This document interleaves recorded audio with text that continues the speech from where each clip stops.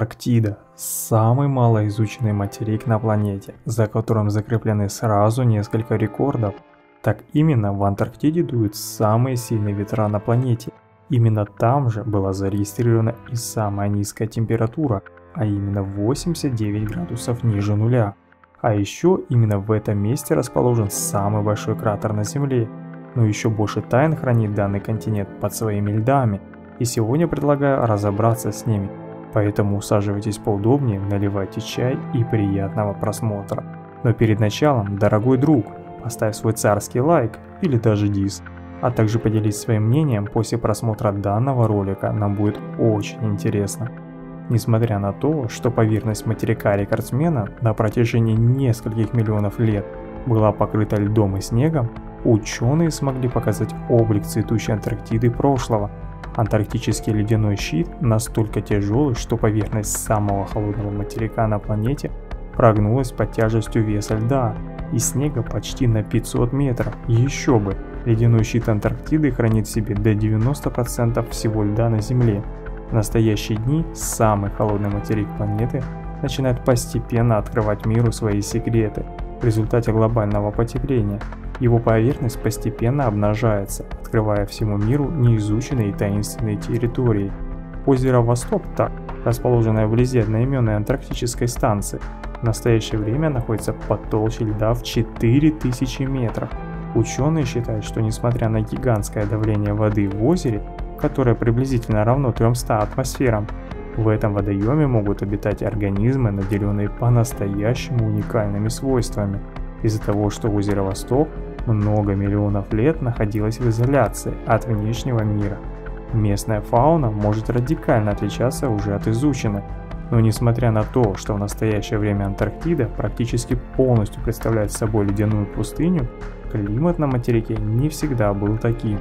Дело в том, что Антарктида когда-то являлась частью гигантского материка Нванны, обладающего теплым и влажным климатом. Антарктида прошлого была покрыта дождливыми лесами, хотя уже тогда в южной ее части иногда было довольно холодно и периодически даже выпадал снег.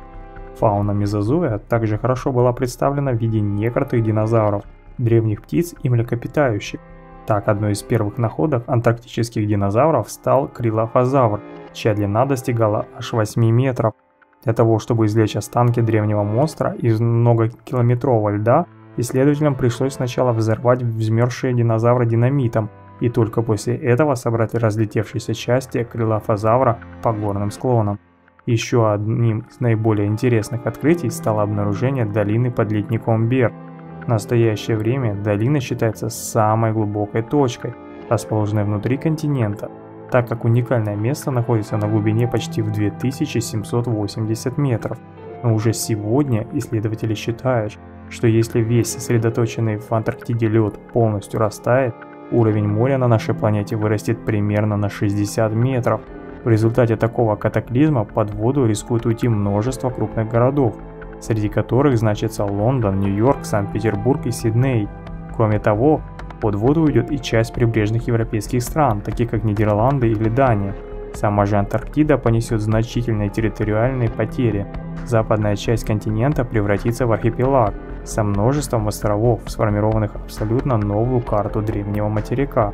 Согласно официальным данным, на антарктическом полуострове уже сейчас отмечается появление тундровой зоны.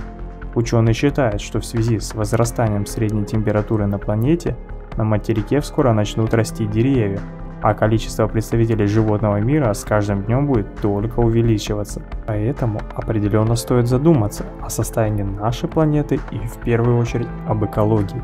Дорогой друг, досмотрев до конца, поделись своим мнением в комментариях, а также распространи видео, для нас это будет большой мотивацией выпускать больше интересного контента.